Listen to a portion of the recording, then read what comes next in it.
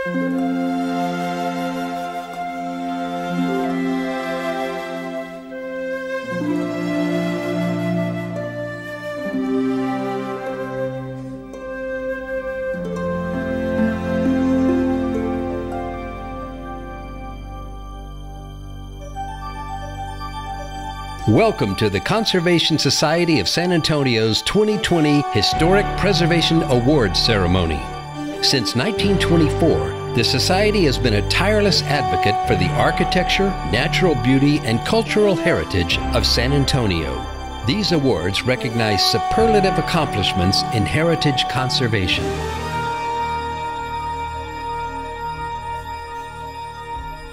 Our first category of awards is the Texas Preservation Hero Award. This award is given to those groups or individuals who have made outstanding contributions to historic preservation. We have five honorees this evening. Hector Cardenas. As a professional firefighter, Hector put his life on the line to save buildings.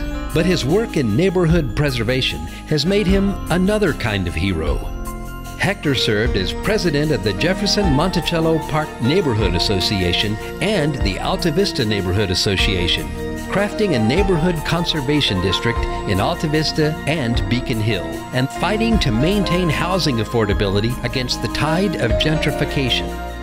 Hector also became president of the Friends of San Pedro Springs Park, where he was instrumental in the preservation of the San Pedro Park Branch Library and the Old Stone Fort. His professional and community careers came together in the conservation of Fire Station Number 1 as the San Antonio Fire Museum, where he devoted thousands of hours to fundraising, programming, and rehabilitation. Amy Kastely. As the Conservation Society has demonstrated throughout its history, when City Hall is wrong, responsible citizens must challenge authority to make things right. Amy Kastely's life and work exemplify this ideal. Without her tireless work, the Hays Street Bridge would be surrounded by taller buildings, less visible and less accessible to the public. She led the legal battle to save the bridge from private encroachment and make good on the city's promise of a public park. In 2019, the Texas Supreme Court overruled the city's proposal to sell the land to a developer. Thanks to Amy's efforts, the land adjacent to the Hays Street Bridge will be a public park. Jennifer Nottingham has spent her life dedicated to the conservation of Grey Forest, where her father moved the family in 1959. In addition to a teaching career, she served as a volunteer firefighter and has been a member of the City Council for nearly two decades. Jennifer helped form Save Scenic Loop and prevented the construction of a Walmart at Bandera Road over the Edwards Aquifer contributing zone. She led the nine year effort to create the 13 mile long Scenic Loop, Boerne Stage Historic Corridor. As president of Hill Country Planning Association, she made citizens aware of development impacts on fauna, flora, and water. She also served on the Southern Edwards Plateau Habitat Conservation Plan and the Citizens Advisory Board for the Watershed Improvement Advisory Committee. Jennifer was tenacious in her efforts to create the 45.3 acre Madla Natural Area in Grey Forest. A longtime partner of the Conservation Society, Jennifer Nottingham has been a tireless voice for conservation and a true Texas hero. Paul Ringenbach has spent decades dedicating his time and talent to activities that embody the mission of the Conservation Society of San Antonio.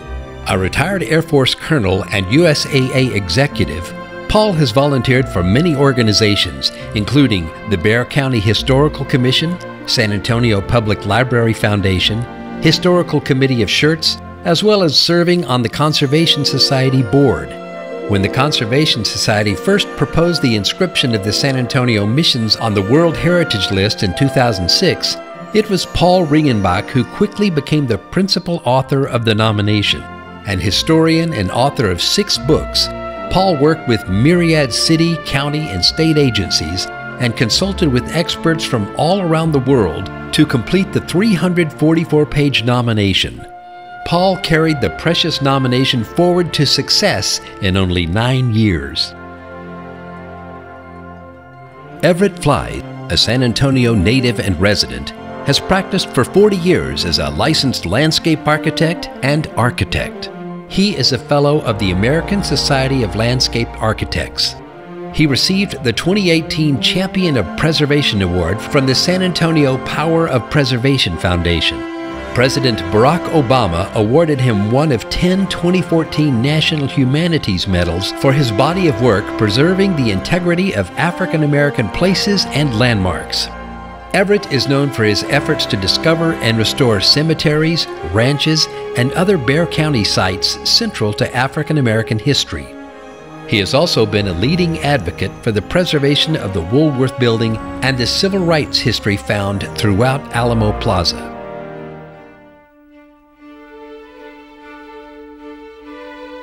The Special Recognition Award is bestowed on Joanna Parrish, a preservation hawk and instigator of the NIOSA Rain Rock.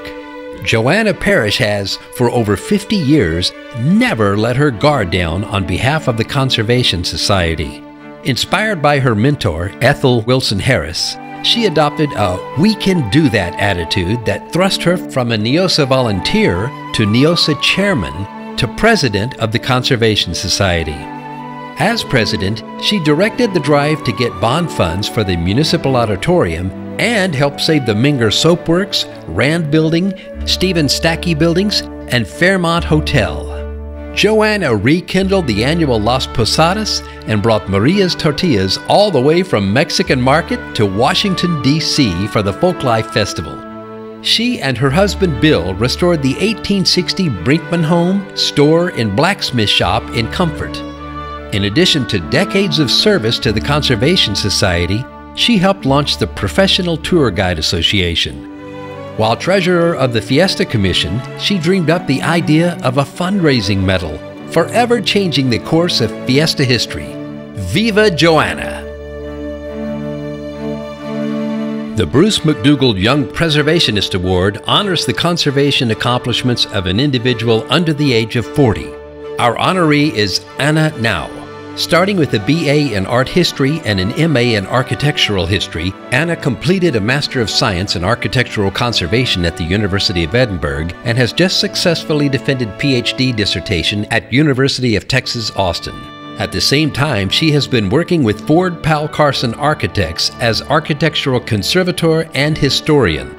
Her projects include restoration work at Missions Concepcion, San Jose, and Espada, and she has amassed an impressive resume including documentation, project management, condition assessment, tax credit certification, and design specification. She was a key part of the team that nominated the missions for World Heritage and has a very bright future ahead of her.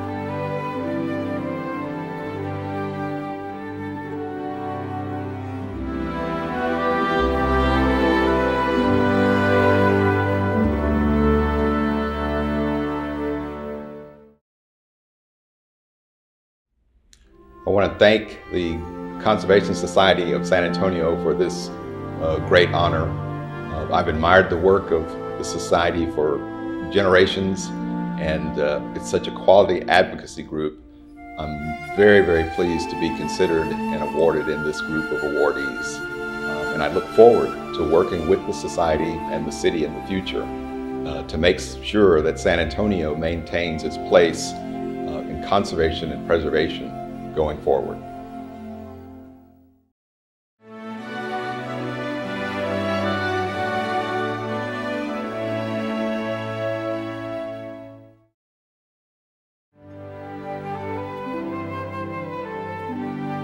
Twenty Twenty Historic Preservation Awards for the Built Environment. The jury for the 2020 Building Awards consisted of Denise Alexander, Properties Manager for the Galveston Historical Foundation, Frank Rabelais, preservationist and developer in New Orleans, Louisiana, and Christopher Meyer, preservation specialist for the Texas Historical Commission in Austin, Texas. The restoration of the Karnes County Courthouse exceeded even the lofty standards of courthouse restoration in Texas over the last three decades. The incredibly ambitious recreation of original elements like the clock tower, the turrets, and the mansard roof astonished the jury with their faithfulness to the original design. Likewise, the careful restoration of original wall finishes, doors, and woodwork throughout the interior made this a public project like no other. Karnes County residents can take great pride in this inspiring restoration. St. John's Seminary, built in 1920 right next to Mission Concepcion, this red brick and terracotta tiled collegiate Renaissance building has languished in ruins for years. Thanks to the careful work of Mission DG Limited, the project has become the frontispiece for a new residential development. Instead of starting over, the developers repurposed the building and brought back its original beauty. The jury applauded the high quality of the workmanship, the careful attention to detail, and a suitable adaptive reuse of the seminary as apartments. Maverick Carter House. Built in 1893, this exquisite Romanesque revival mansion featured a stone exterior, porte cochere, and even an observatory. Thanks to the careful stewardship of the Maverick and Carter families, the home opened as a first class house museum, boasting not only a series of fascinating rooms, but a substantial and significant collection of artifacts original to the families. The jury praised the careful and comprehensive restoration of the building's stone facade, slate roof, and windows. The jury also cited the impressive landscape treatment that highlights and respects the original home. The Corrand House. Like many homes, the two story residence in the historic King William District had suffered from piecemeal additions and adaptations that obscured original details and compromised the architectural vision. The restoration removed two porch and stair additions that not only obscured the lovely brick and cast stone facade, but also a beautiful second story stained glass window. The jury praised the excellent decisions made during the restoration. The Savoy Hotel was built in three sections principally by Alfred Giles in the 1800s. The oldest section around 1857, while the two more significant sections by Alfred Giles in 1883 and 1893. Like so many structures downtown, the buildings had been altered, neglected, and certainly a potential target for redevelopment. The Savoy is being honored tonight for a restoration that features exquisite stonework, where more than half of the original masonry required repair or replacement. The jurors were also impressed with the transformation of the space while preserving original entryways and interiors. The Jefferson High School fountain was a pioneering preservation project by the Thomas Jefferson High School Historical Preservation Society. The 1936 fountain, built just four years after the iconic school building, had fallen into disrepair. Our jurors applauded the effort of the school boosters and alumni to bring new resources into one of San Antonio's most treasured landmarks and activate a formerly neglected public space. The restoration featured extensive replication of tile and frog shaped fonts and will encourage more use of the space and more preservation projects.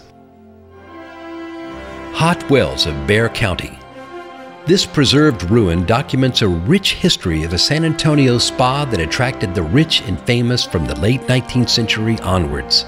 The former spa and hotel underwent many iterations over a century, suffering fires and rebuildings before declining and becoming overgrown in the last 40 years.